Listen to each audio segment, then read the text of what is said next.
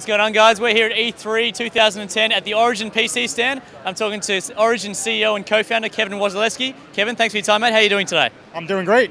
Fantastic. And uh, Kevin, tell us a little bit about Origin and uh, where it's come from, what it's doing, how it's different in the market. So Origin PC launched last year. Um, we were actually former Alienware executives. We left after the Dell acquisition because we wanted to form our own company dedicated to custom laptops, custom desktops, getting back to the origin of the gaming PC. And uh, now, so I know you guys are dealing pretty serious hardware, but you've also got a, a special arrangement with uh, the, the casing as well. Yeah, we have kick-ass hardware. We use only name brand, top quality components. Customers can choose any component that they want. And on our desktop chassis, they can actually choose any desktop chassis that they want. And uh, a bit of airbrushing going on as well? Yeah, we have some kick-ass airbrushing. Killer Paint does all of our airbrushing. They're one of the best airbrushers in the world. They've been featured on um, Monster Garage, other other TV shows and the customers can actually choose any custom paint that they want.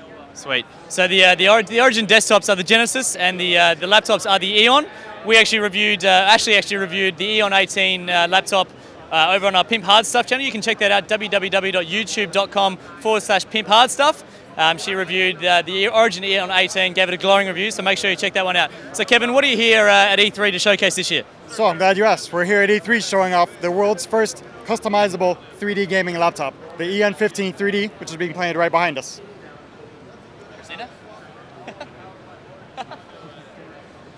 she's so, loving it so much she's not even paying attention to us at all. so I gotta say she's looking looking looking cool in these uh, in these uh, in these uh, sunnies. But uh, Christina, give us uh, give us your thoughts on the game. So she's playing Just Cause 2 on the PC uh, in 3D. Give us what give, what are your thoughts, Christina?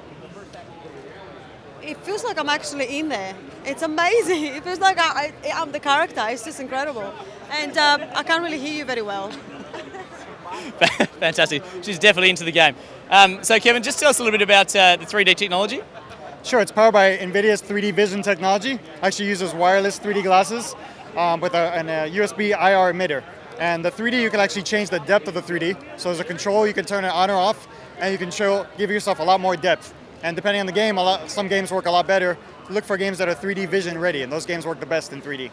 And how many games would be uh, 3D ready right now? So pre E3, before E3, over 400 games were supported. At E3, tons of games are being announced in 3D. So I don't even know how many games. Way over 400 games are in 3D. Wow, so it's a great investment, guys. Uh, so uh, that's well, that's that's about it. Thanks very much for your time, Kevin. Really appreciate it. Thanks. Um, and uh, yeah, look, looking forward to big things for Origin in the future. Cheers. Awesome. Thanks.